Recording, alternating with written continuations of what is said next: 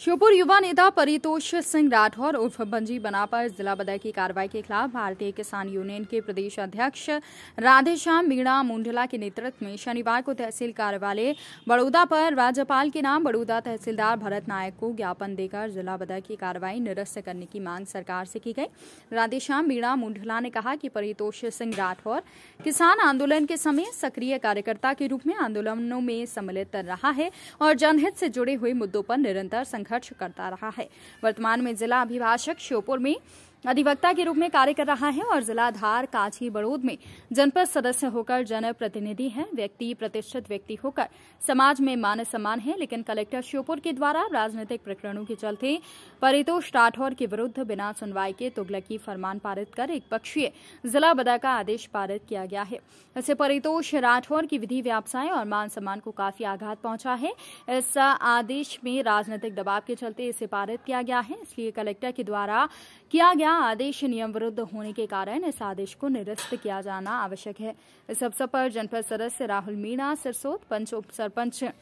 संघ के जिला प्रभारी बाल मुकुंद धनखेड़ा, दिनेश सैनी बड़ोदा, जीतू मीणा, बोरदा देव सहित किसान संगठन से जुड़े कार्यकर्ता उपस्थित थे।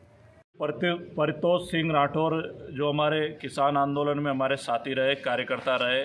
जनहित के लिए पिछले कुछ वर्षों से निरंतर संघर्ष कर रहे थे और वर्तमान में वो अपने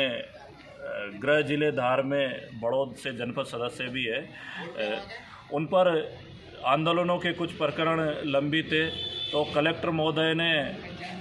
राजनीतिक दबाव के चलते, भारतीय जनता पार्टी के दबाव के चलते परतोष राठौर पर जिला बदर की कार्रवाई की है। ये सरासर अनुचित है।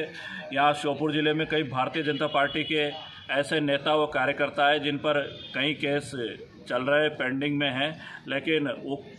उनको शासन का प्रोटेक्शन है संरक्षण है और जो जनता के लिए लड़ाई लड़ रहा है किसानों के लिए लड़ाई लड़ रहा है उनको प्रताड़ित करने का कार्य इस भा, भाजपा के शासन में किया जा रहा है। इसलिए आज हमने यहाँ बड़ौदा तहसील में तहसीलदार महोदय को राज्यपाल महोदय के नाम ज्ञापन दिया है और मांग की है जो परतोष सिंह पर जिला बदर की कार्रवाई है उसको निरस्त किया जाए उसकी जाँच की जाए।